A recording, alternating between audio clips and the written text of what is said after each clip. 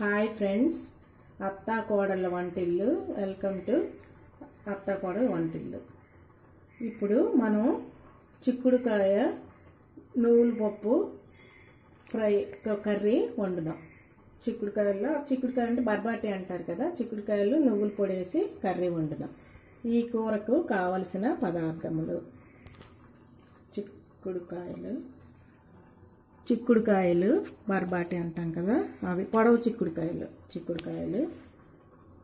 Oil ఉల్లిపాయలు ఒక రెండు తీసుకున్నాను నేను చిన్న ముక్కలుగా కోసుకున్నాను. పోపు దినుసులు కారం ఉప్పు పసుపు అల్లం వెల్లుల్లి పేస్టు నువ్వులు పొడి. నువ్వుల పొడి ఎలా చేయాలో చెప్తాను. ముందు మనం పొయ్యి వెలిగించి కళాయి గిన్నె పెట్టుకుందాం. గిన్నె పెట్టుకుందాం. గిన్నె వేడెక్కుతుంది. ఈ గిన్నెలోనే నువ్వులు పొడి ఎలా చేయాలంటే కొంచెం నువ్వులు వే- డ్రై రోస్ట్ చేయాలి వేడి వేడి కళాయిలో వేయించాలి. వేయించి కొంచెం మిక్సీలోనే తిప్పితే పొడి అవుతుంది. ఇది ఒక పెద్ద టేబుల్ స్పూను పొడి నువ్వుల పొడి. ఇప్పుడు మనం కళాయి వేడెక్కింది గిన్నె. ఆయిల్ ఒక త్రీ టీ స్పూను ఆయిల్ వేసుకుందాం. ఆయిల్ వేసుకొని ఆయిల్ వేడెక్కిన తర్వాత ఆయిల్ వేడెక్కుతుంది. ఆయిల్ వేడెక్కిన తర్వాత పోపు దినుసులు ఆవాలు జీలకర్ర మినప్పప్పు కరివేపాకు పోపు దినుసులు వేసాను కరివేపాకుని ఇలా చిన్న చిన్న ముక్కలుగా కోసుకుంటే కట్ చేసి ఇసుకున్నాం అనుకోండి. బయట తీసి ఎవరు పడే మనం పడేస్తారు పిల్లలు కూడా పడేస్తారు కదా. కరివేపాకు తింటే మంచిది కదా. ఏ పెరుగుతుంది అన్ని విధాలా మంచిది. ఏ విటమిన్ ఉంటుంది. పోపులు వేగిన తర్వాత ఉల్లిపాయ ముక్కలు వేయాలి. ఆనియన్స్ వేస్తాం ఉల్లి ముక్కలు వేయాలి. ఉల్లిపాయలు వేగమే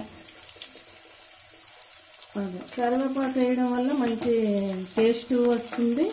మనకి ఎయిర్ పెరగడానికి అన్ని విధాలా కూడా ఉపయోగపడుతుంది. ఆనియన్స్ వేగంగా వేగాలంటే కొంచెం చిటికెడు సాల్ట్ వేయాలి. సాల్ట్ వేస్తే ఉల్లిపాయల్లో ఉన్న వాటర్ అంతా బయటకు వచ్చి వేగం వేగుతాయి. ఇప్పుడు ఉల్లిపాయలు కొంచెం వేగుతూ ఉన్నాయి. వేగుతున్నప్పుడే మనం ఉల్లిపాయలు వేగుతున్నప్పుడు అల్లం వెల్లుల్లి పేస్ట్ ఒక మూడు అల్లం అల్లం చిన్న ముక్క పావు అంగుళం ముక్కను మూడు రెబ్బలు వెల్లుల్లి కలిపి ముద్ద పేస్ట్ చేశాను. అల్లం వెల్లుల్లి పేస్ట్ మంచిది కదా. జింజర్ ఇప్పుడు అల్లం మనకి జలుబుకి అన్ని విధాల ఉపయోగపడుతుంది. వెల్లుల్లి కూడా ఆర్ట్కి అన్నిటికీ రక్త ప్రసరణకి అన్నిటికీ ఉపయోగపడుతుంది. ఇది మనకి మంచి ఫ్లేవర్ని ఇస్తాయి. ఇది మన ఆంధ్రులకి మంచి మెడిసిన్లా కూడా మనకు పనిచేస్తుంది. అల్లం వెల్లుల్లి వాడడం వల్ల మంచిదే మన ఆరోగ్యానికి. అది.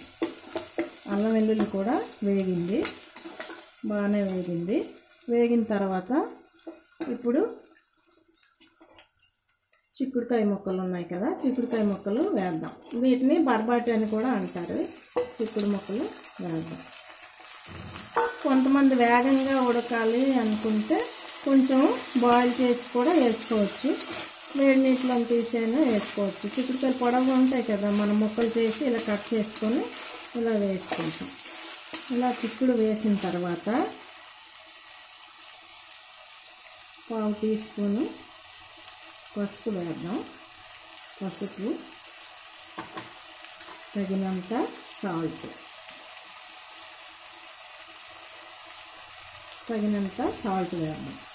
సాల్ట్ వేసి బాగా కలిపి కొంచెం వేగాక కారం వేద్దాం.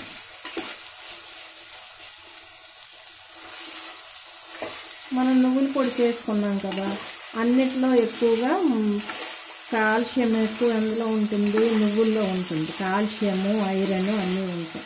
ఆ కాల్షియం తక్కువ ఉన్న వాళ్ళు ఐరన్ తక్కువ ఉన్న వాళ్ళకి నువ్వులు తినమంటారు. రోజుకి ఒక స్పూన్ నువ్వులు తింటే మనకి కాల్షియం తగినంత వస్తుందంట. ఐరన్ కూడా ఉంటుంది నువ్వుల్లో. అందువల్ల మన నువ్వులు ఏదో రూపైన నువ్వులు ఉండల్లా కానీ ఇలా కర్రీస్లో చిక్కుడుకాయలు కానీ దొండకాయల్లో కానీ వేటిలో నేర్చుకున్నా కూడా నువ్వులు పొడి చాలా మంచిది ఆరోగ్యానికి మంచిది. ఇది వేగింది ఇప్పుడు మనం కారం వేసుకుందాం. ఈ కూరకు తగ్గట్టు నేను వన్ స్పూన్ వేస్తున్నాను. సరిపోతుంది. ఎందుకంటే నువ్వుల పొడి కూడా వేస్తాం కాబట్టి కొంచెం కారం వేసినా అక్కడ సెట్ అవుతుంది.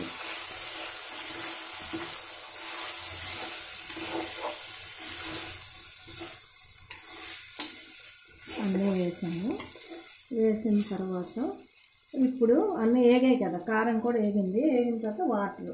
వాటర్ మనం కొంచెం వేసుకొని ఒక ఆరు నిమిషాలు ఏడు నిమిషాలు ఉడికిస్తే మన కర్రీ ఉడుకుతుంది. ఉడికిన తర్వాత మనం నువ్వుల పొడి తయారు చేసుకొని ఉంచుకున్నాం కదా ఆ పొడి వేద్దాం.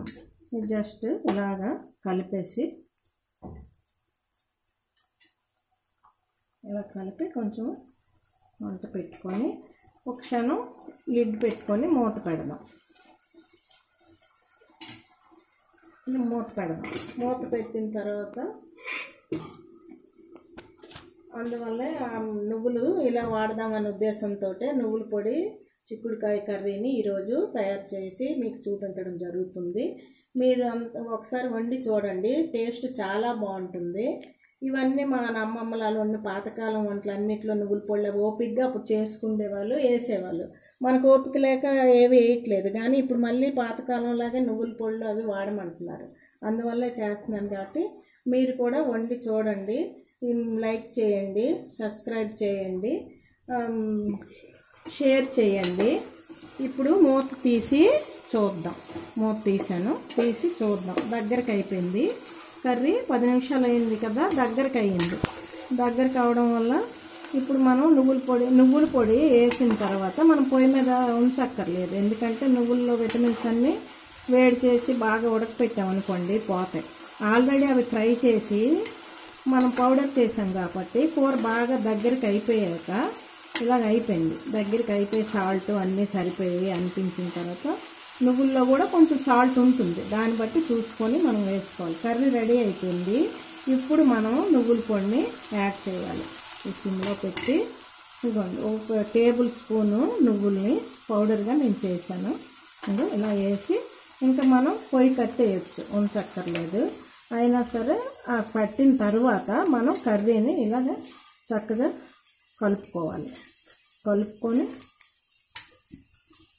ఈ కర్రీని మనం డిష్ అవుట్ చేసుకోవచ్చు. దీన్ని రైస్లో కానీ చపాతీలో కానీ పుల్కాలో కానీ దేంట్లో తిన్నా కూడా బాగానే ఉంటుంది. మనకి ఎవరికి ఏది అలవాటు అయితే దాంట్లో తినొచ్చు. థ్యాంక్ యూ సబ్స్క్రైబ్ చేయండి. వండి చూడండి.